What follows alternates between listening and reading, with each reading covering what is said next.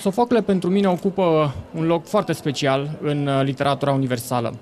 Este dintre cei trei mari autori de tragedie atenieni, este cel care sondează cel mai adânc sufletul omului. Dacă Eschil este preocupat de forma narațiunii și este cumva hieratic, dacă pe Euripide se pierde în uh, contorsiunea firului narrativ, Sofocle este cel care privește omul și îl pune în uh, niște situații aproape imposibile. Este cel care sondează cel mai adânc dilemele morale, cele mai adânci.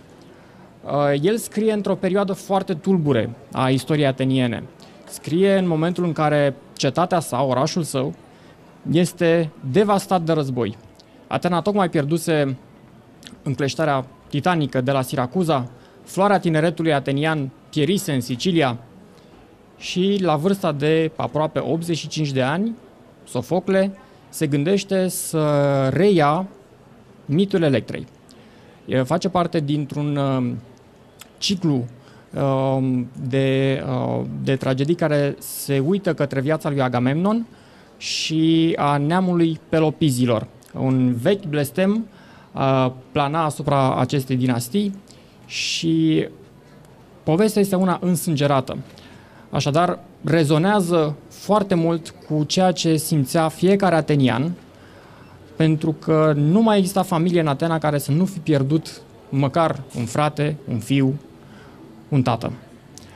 Atunci când Electra își plânge fratele pe scenă, nu cred că mai exista un spectator care să nu plângă alături de ea.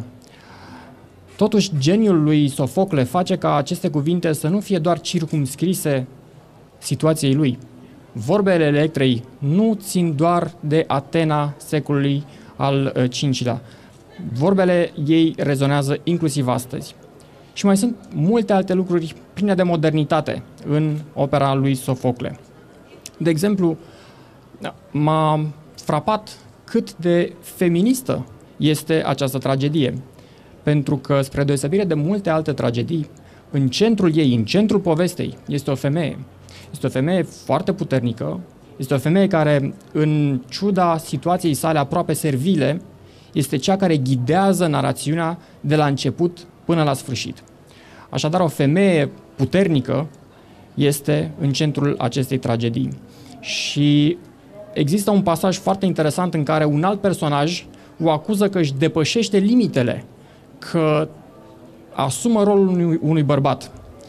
Vă dați seama ce discuții purtau atenienii epocii lui Sofocle și niște discuții pe care, iată, nici noi nu prea le-am încheiat acum. Un alt lucru care m-a frapat ca traducător de secol 21 al unei opere antice este felul cum se raportează la tiranie.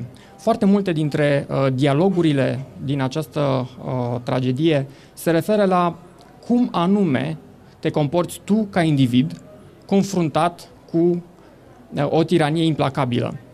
Există un personaj care uh, vorbește în favoarea unei rezistențe pasive. Nu ai ce să faci. Trebuie să te supui celor puternici. Trebuie să supraviețuiești cumva.